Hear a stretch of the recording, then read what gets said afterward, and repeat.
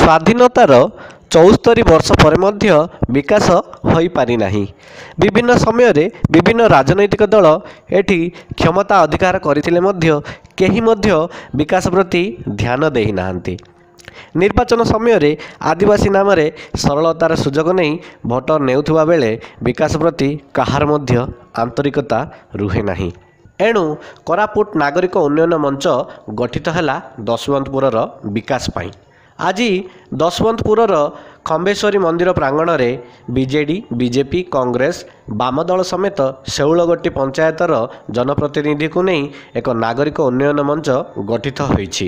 ଯେଉଁମାନେ କି ଆଗାମୀ ଦିନରେ ଦଶବନ୍ତପୁରର ବିକାଶ ପାଇଁ ଜଣେ ପ୍ରାର୍ଥୀ ଠିଆ କରାଇବେ। ଆଉ ସବୁ ରାଜନୈତିକ ଦଳର ରାଜ୍ୟ ସଭାପତିଙ୍କୁ ଏକ ଦାବିପତ୍ର ଦେବେ ବୋଲି ନିଷ୍ପତ୍ତି ନେବା ସହ ଜିଲ୍ଲାର ସବୁଠୁ ବେଶୀ ଭୋଟର ଏହି ବ୍ଲକରେ ଥିଲେ ମଧ୍ୟ ଦଶବନ୍ତପୁରର ବିକାଶ ପାଇଁ କେଉଁ ଦଳର ଜନପ୍ରତିନିଧି କେବେ ଉଦ୍ୟମ କରିନାହାନ୍ତି ବୋଲି କ୍ଷୋଭ ସହ ସମସ୍ତେ କହିଥିଲେ। କୋରାପୁଟ ଜିଲ୍ଲାରୁ ଦେବାଶିଷ ପଟ୍ଟନାୟକଙ୍କ ରିପୋର୍ଟ ଉତ୍କଳ ଖବର।